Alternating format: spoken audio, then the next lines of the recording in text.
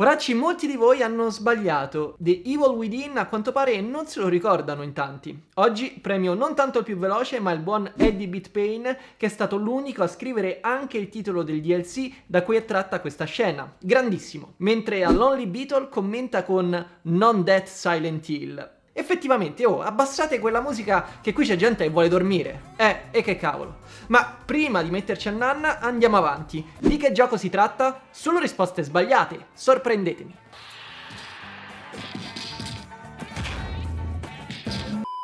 Poracci, bentornati o benvenuti su TG Poro, l'unico format di YouTube Italia dove si parla di videogiochi senza mai montare delle aspettative esagerate. Mai, proprio mai. Quella di oggi sarà una puntata ricchissima e fossi in voi mi farei prendere dall'hype.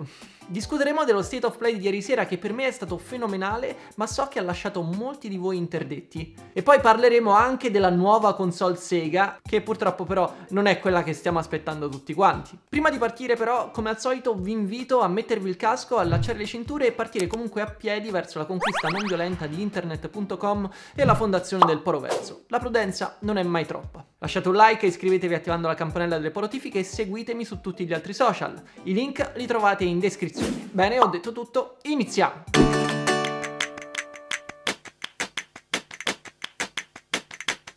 Partiamo con qualche notizia al volo. Vi ricordo che questo weekend si terranno le sessioni online per la demo di Battle League Football. Vi siete allenati per bene nella modalità training? Ecco, ora è il momento di iniziare a fare sul serio contro gli altri giocatori. Sabato e domenica sarà infatti possibile partecipare a quello che è a tutti gli effetti un network test travestito da demo per Mario Strikers. Ci saranno ben tre sessioni di un'ora al giorno. Magari la prima è un po' scomoda, ma le altre due saranno imperdibili. Non dimenticatevi di provare online e poi fatemi fatemi sapere cosa ne pensate. Ultimamente non abbiamo fatto altro che parlare male di Sonic Origins, ma non tanto del gioco in sé, più che altro di come Sega abbia gestito in modo pessimo tutta la campagna pubblicitaria. Quindi rilassiamoci un attimo e diamo uno sguardo a quello che di interessante c'è in questa collection. Durante uno showcase di Famitsu, infatti, sono stati mostrati tanti elementi inediti della raccolta, si va da nuove cutscene animate a nuovi elementi di gameplay come la schermata di selezione dei personaggi in Sonic 2,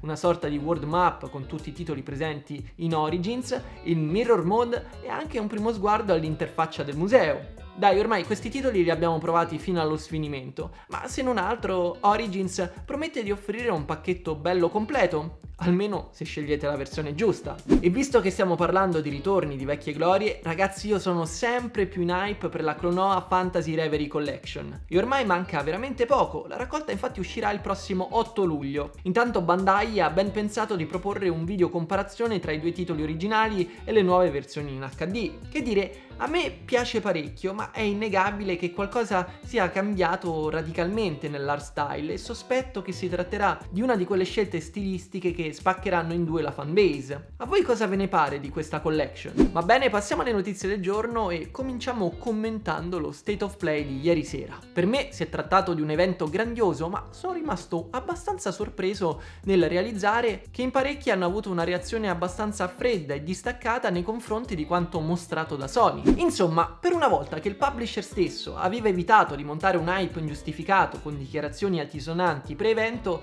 mi sarei aspettato tutt'altra reazione da parte del pubblico. C'era stato detto di partire con aspettative medio-basse, dopo tutto, no? L'evento avrebbe riguardato esclusivamente i giochi per PlayStation VR 2 e i titoli di terze parti, quindi non aveva senso aspettarsi un God of War o qualche esclusiva di peso di PlayStation Studios.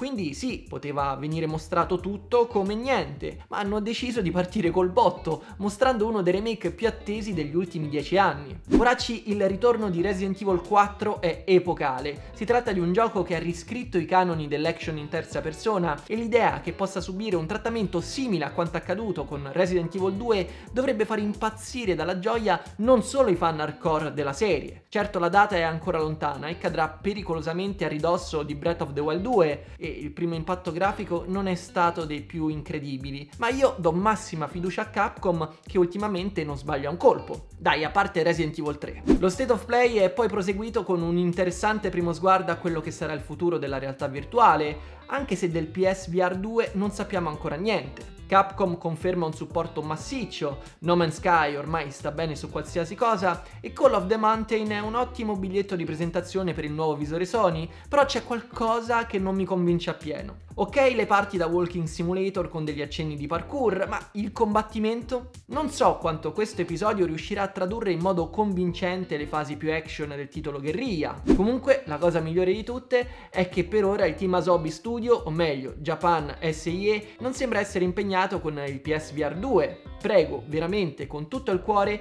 che prima o poi esca un platform tradizionale in grado di espandere e perfezionare quanto visto con l'incredibile demo tecnica di Astro's Playroom. È stata poi manifestata nuovamente la volontà da parte di Sony di trasportare tutto il catalogo PlayStation su PC e questa volta è toccato alla remaster di Spider-Man di Insomniac, a cui seguirà Miles Morales più avanti nell'anno. L'acquisto di Nixes inizia a dare i suoi frutti, ma io mi concentrerei principalmente su due aspetti. Il primo, questo significherà poter giocare su Steam Deck al fenomenale open world dell'Uomo Ragno, una cosa non da poco. E due, che questo tweet è invecchiato decisamente male. Il mercato sta cambiando molto rapidamente, non trovate? Stray poi si conferma come un action adventure potenzialmente molto interessante, ma non è che sia proprio chiarissimo come funzioni il gameplay e a poco più di un mese dall'uscita queste perplessità sono un po' allarmanti. Comunque il titolo sarà disponibile al download gratuito per gli abbonati al PlayStation Plus a partire dal 19 luglio, ma solo per chi è abbonato ai due tier superiori.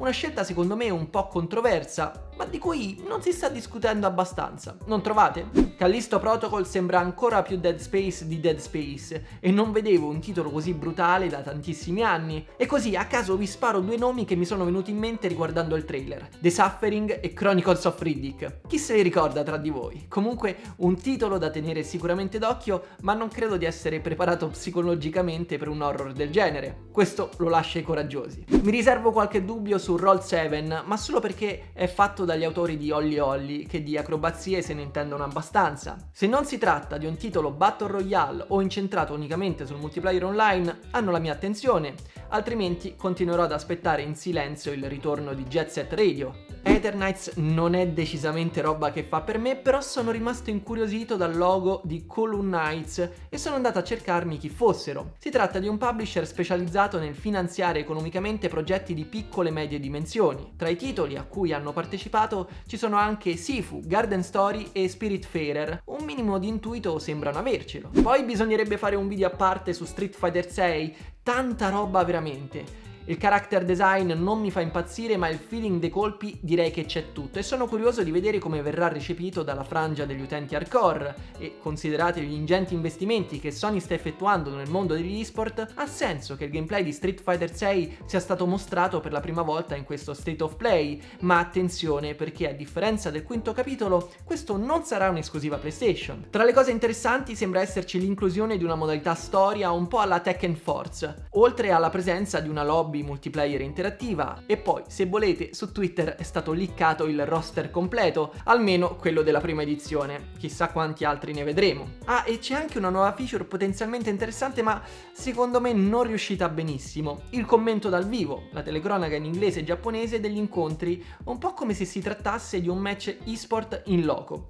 Il risultato non mi sembra però entusiasmante. Voi che ne pensate? Poi, brevemente, capitolo Tunic. Chi non lo ha ancora giocato è un folle e se non lo recuperate su PlayStation siete folli due volte. E su Tunic non dico altro. E chiuderei con Final Fantasy XVI. Un trailer studiato ad arte, super interessante, ma data di uscita molto più lontana di quanto mi aspettassi. Ci sarà da vedere come il combattimento action, che in certi frangenti sembra quasi dirottare nel regno dei picchiaduro uno contro uno, sarà integrato all'interno della struttura da JRPG e prego che per questa volta si sia scelto un world design molto più lineare e meno aperto di quel mezzo disastro che è stato Final Fantasy XV. In ogni caso apprezzo tantissimo il ritorno a un fantasy molto più puro e tengo il progetto d'occhio con un moderato hype, solo che con questi ritmi quando cavolo vedremo Final Fantasy VII Remake parte 2. Quindi per me c'è stato veramente di tutto, non si tratta sempre di titoli in esclusiva o dall'uscita imminente, ma mettere in piedi una cornice del genere non è semplice.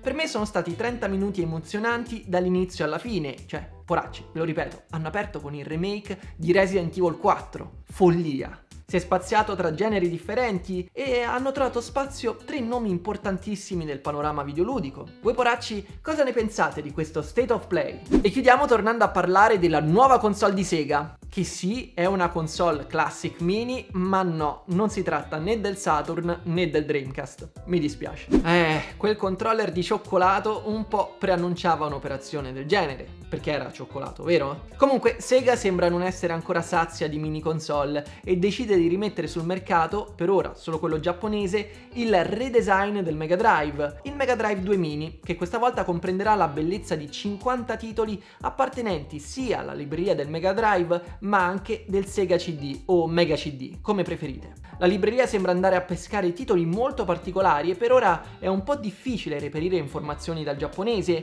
però tra i tanti nomi sembra esserci anche una versione inedita di Fantasy Zone che in realtà non è mai stato pubblicato su Mega Drive. Inoltre anche questa volta non si sono regolati con gli accessori e sarà nuovamente possibile costruire, senza alcuna finalità se non quella estetica, l'accrocchio completo con Mega Drive, 32X e Mega CD, questa volta però nella versione orizzontale. Non so, a me sembra proprio come il Game Gear Mini, un prodotto studiato ad arte solo per i super fan di Sega, ma che in realtà ha un'utilità prossima allo zero. Chissà se arriverà anche da noi in Occidente. Voi poracci cosa ne pensate? E questo poracci era tutto per oggi, vi ringrazio per essere arrivati fino in fondo e vi aspetto qua sotto tra i commenti per continuare a discutere assieme delle notizie del giorno. Dai, non ci credo che questo state of play vi ha deluso. In ogni caso non mi resta che darvi appuntamento a lunedì con un nuovo video, voi mi raccomando questo weekend fatelo per me, riposatevi, fate i bravi, ma soprattutto nerdate duro. Io sono il Poro State, Michele, oh mio dio il remake di Resident Evil 4 mi sento male, ciao!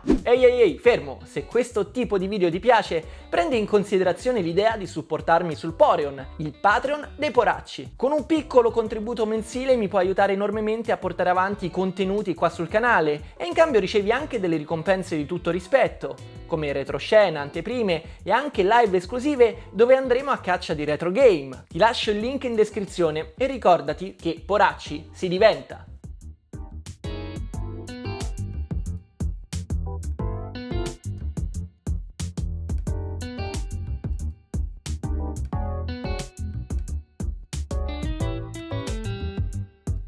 Ma si muove tutto.